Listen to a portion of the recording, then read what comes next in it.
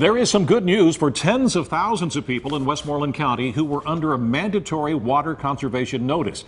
That mandate to conserve water is now voluntary.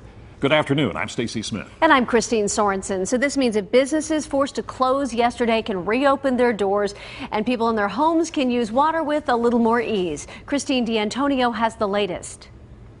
The power is back up at the Indian Creek Water Treatment Plant in Connellsville, but it's only a temporary fix. We now have uh, limited capacity at the plant, so we're able to pump now, just not to our full capacity. It's still good news for the 107,000 Municipal Authority of Westmoreland County customers who depend on it. A 4,000 volt power surge that knocked out the power substation at the Indian Creek Water Treatment Plant on Sunday forced a mandatory water conservation notice for customers. The Indian Creek plant was affected, but so was the Beaver Run system because it helped supplement water. Crews worked throughout the day and night to repair what they can right now to get power back and to get water levels back to a place where the conservation notice is now voluntary.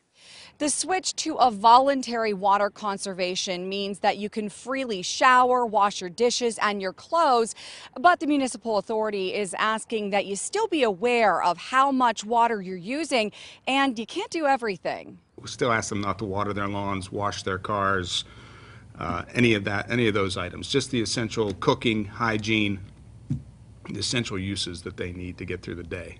At this point, the timetable for the permanent repairs isn't known. A consulting engineer is on site today figuring out what's needed, but the high voltage equipment that was destroyed has to be specially made. Kukura says he's thankful that people have listened to the restrictions and that a surge protection system allowed the situation from being worse. Because those fuses and breakers did what they were supposed to do, we were able to make these temporary repairs and get back up and running relatively quickly. Christine D'Antonio, KDKA TV News.